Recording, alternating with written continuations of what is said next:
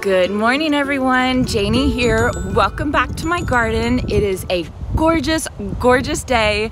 Um, it's probably about 72 degrees, and our next 10 day forecast is basically the same. So, not too hot, not too cold, perfect gardening weather. I'm so excited, and I'm so excited because I finally got my annuals for this year and I get to get them in the ground. So, I am starting with my front annual, I call it my annual swoop. This, this bed that you see the purple pansies in right now.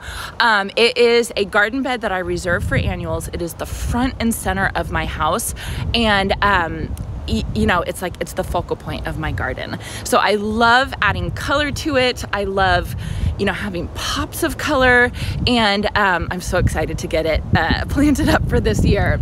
So a little bit of history for. Um, for this garden bed. We moved into this house in January of 2020, and when we moved in, we had some pink verbena in here, and I think I think it was a Tapien or Tapien verbena, very beautiful when it was in bloom when it was in bloom, right? So it would like it would flush out, I would fertilize it and it would look really pretty and then after a couple days it would die out and it would look kind of brown and yucky, right? And it would just kind of flush in and out kind of as time went on. There's no rhyme or reason to it. Um, and so I didn't I didn't love it. I didn't want it to stay in there. Plus it was a slug and snail magnet. Um, you would like lift up the, the the leaf canopy and there would be snails and slugs everywhere. It was disgusting. So I knew I had to take that out and I was in the market for something that I didn't have to spend a ton of money on, right? I was kind of very new to gardening and I was afraid I was gonna kill everything. so I didn't want to spend a ton of money on anything.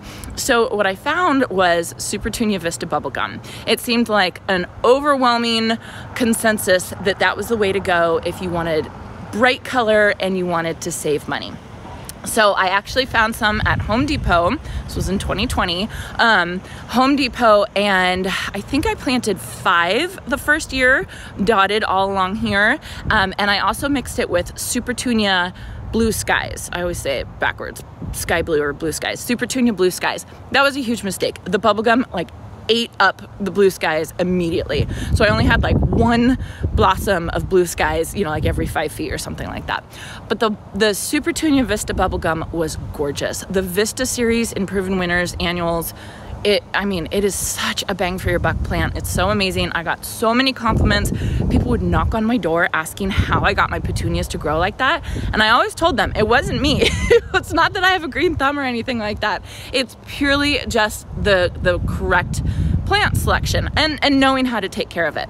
So I had those in 2020 and then in 2021 I of course repeated it. And I think I put seven of the Supertunia Vista bubblegums gorgeous again. By that time, I had realized that Supertunia Vistas need food. You need to fertilize it for it to perform as well as you want it to. So I had started fertilizing it either once a week or once every other week if I was lazy and didn't want to come out and fertilize one day. Um, and then I also realized that we do have budworms in this area. So if you notice like holes on the flowers or um, you know, like it, like all of a sudden one area stops flowering, it's possible that you have budworms, and those are the worms that come from the little white butterflies that fly around. And you can see the worms on your plants; they'll be like little green things. I hate them. Um, and so the way to get rid of that is you want to spray BT, which is a natural chemical that's found in soil you know, of course, some people don't like using that, but I, I feel fine using that. Um, I just use it in the evening where, you know, there's no other pollinators flying around, even though it doesn't even bother pollinators. Um, so that's what I would do. In 2021, I would spray the Super Supertunia Vista bubblegum.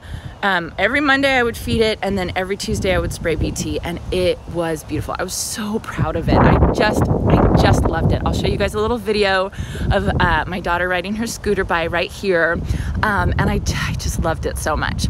So I knew I was gonna do Supertunia in my front swoop um, this year, and I couldn't decide if I just wanted to fall back on Old Faithful of the bubblegum or try something new. And then I heard that Proven Winners was coming out with a new Supertunia Vista. So Proven Winners has Supertunias and Supertunia Vistas, and they're both beautiful Supertunia Vistas are really good in landscape because they can get up to like four feet by four feet. They can get giant. So if you put that in a pot, like the bubblegum did to my blue skies, it's gonna take everything over. So you have to know what you want your Supertunia for and pick the color, the variety accordingly. So Proven Winners just this year came out with Supertunia Vista Jazzberry, which I am so excited about because it is like an electric uh, magenta purple. It, it like it's it's almost neon. I would say it's incredible. It's absolutely beautiful and so much color. And when I saw that, it was like, okay, well, that's definitely what I need to try. Um, so I have, I actually have 10 of those this year that I'm gonna put in here. And then I also have two other things. I have um, Sweet Caroline Sweetheart Lime Ipomoea, which is a sweet potato vine. So, so hopefully I can get a little bit of trailers. And then I also have a Snow Princess Lobularia. And I'm just gonna kind of dot those in.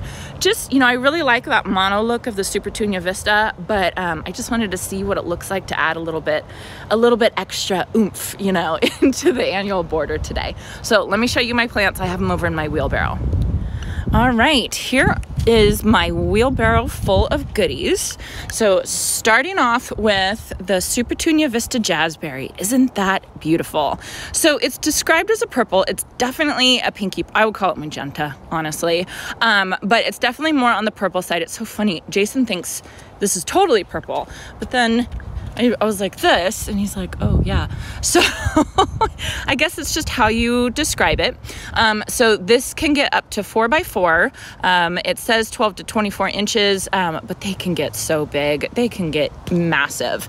Um, and i'm gonna just dot these along the bed right here, just at even spacing all the way around the swoop. And so it is gonna take some time for it to like totally fill in. It's gonna look a little bit sparse, but I'm telling you, within a month, it's going to be incredible. All right, then I have Snow Princess lobularia. So, so exciting. A white, you know, just the beautiful sweet alyssum. And I just thought that this would be really, really beautiful. Um, just dotted, dotted all over the place. So I'm hoping that this will start trailing over the edge that I have right here. I'm going, I'm going to plant it kind of kind of at the edge like that so it starts trailing and then I'll also do the same thing with my sweet Caroline go. Sweet Caroline Sweetheart Lime. That's a mouthful. Um, but it's a sweet potato vine. I love sweet potato vines. I think they're so easy to grow and it's such impact. So if you did a sweet potato vine with Super Supertunia Vista bubblegum, that's it that's all you need.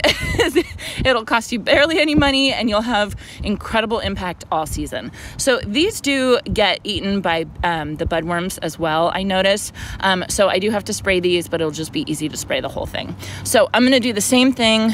Oh, that looks good with the purple too. Um, I'm gonna do the same thing as the uh, Snow Princess. I'm just gonna kind of plant it kind of like that, angled, um, just so that it can hopefully kind of trail over here. And the last two years that I had the Super Petunia Vista bubblegum, I did even multiple times. I needed to trim the bubblegum back so that it didn't just totally take over the walkway and people could walk. That's how big they get. You know, like one of them will get out to here. It's crazy absolutely crazy. All right, so the first thing I need to do is I need to take out all of these pansies. I'm going to try to save, there's daffodil bulbs in there. I always have daffodil bulbs. Sometimes I will dig one out you know, on accident, that's totally fine because I'm actually planning to plant um, a couple different varieties of daffodils so that I can get a longer bloom time this next season. So what would that be? 2023. Um, so I don't feel bad if I, you know, accidentally dig up a couple of them. Um, so yeah, so my neighbor wanted the pansies, the purple pansies, and she's gonna try and grow them. You know, they could, they would probably last another month or so before it gets too hot for them. She also has a lot more like partial shade in her yard than I do so they might do well and better, you know, better than just tossing them. So I'll dig those up, I'll take those over to her, and then I'm gonna amend the area with a little bit of compost um, just to kind of work the soil, you, you know, get some good stuff in the soil. And then every time I plant any one of these plants, I'm gonna put a little bit of this premium continuous release plant food, which is what Proven Winners recommends when you're planting their annuals. So just a little bit of that to help the plant get going And then this is heat activated, so when it gets hot, it's just gonna give the plant a little bit extra oomph. And these are such heavy feeders. This is, you know, this is definitely gonna help it. And then what I'll do is every week from now on, I'll come out here with the Proven Winner Proven Winners water soluble plant food, give it a nice feeding every Monday, because Monday is my feeding day. All right, let's get going.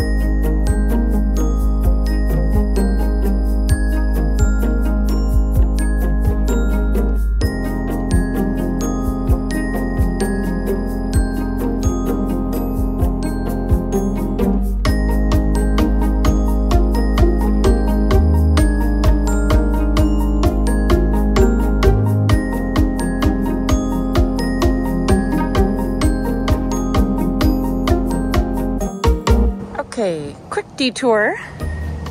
Bloom break. I am loving my Eden climbing roses. They are so pretty. You guys, isn't that gorgeous? So I think I need to train this guy to go like that. Oh yes. Oh yes. Isn't pretty? Okay, so I have all the plants laid out. I, I think they're even. I don't know, it's kind of hard to tell. But basically there's 10 of the Super Supertunia Vista jazzberries and then interspersed each one, sorry about my shadow, um, but I have a sweet potato vine, jazzberry, snow princess. That looks a little close. Ugh, this spacing is hard. Um, jazzberry, sweet potato vine, jazzberry, snow princess, jazzberry, sweet potato vine, jazzberry, snow princess, etc., etc. So I'm just gonna uh, amend each hole with compost, and then I'll put in that continuous release fertilizer. And then I want to show you guys the pansies because they look gorgeous all together. Don't they look pretty? Such a shame to take these out, but they're not going in the garbage. They actually would be really pretty right here with the salvia. Maybe I'll hold back a couple and just plant some right here. we'll see. I did already promise them to my neighbor. I can't go back on that. All right, let's get to planting.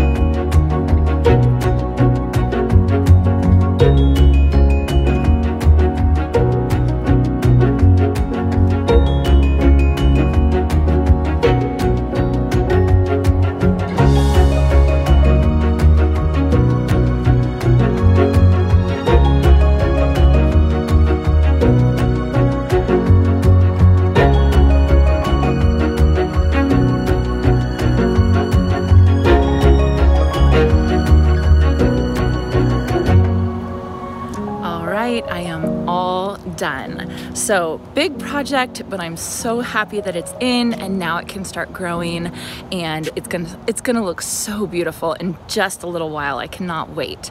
Um, so I did get a little bit of help from my daughter, which was very sweet. It's nice to spend time with her. Let me flip the camera around and show you guys exactly what I did. All right, so there it is. I really should close my garage door, but whatever, it'll be fine. So here you can see my annual swoop, my front annual swoop. Um, and then what I did is I alternated, like I said, the jazzberry, the sweet potato vine, jazzberry, snow princess, jazzberry, sweet potato vine, jazzberry, snow princess. So these jazzberries are obviously gonna get huge. The sweet potato vine's gonna get huge. The snow print, they're all gonna get huge, but I'm really excited to see how it's gonna look because I've never done like a little combination with, with the supporting spillers um, here before. So I think it will be absolutely gorgeous. I'm so excited about it. Um, so I did end up giving all my pansies to actually two neighbors that wanted them. So they're going to plant them in a little bit of shade.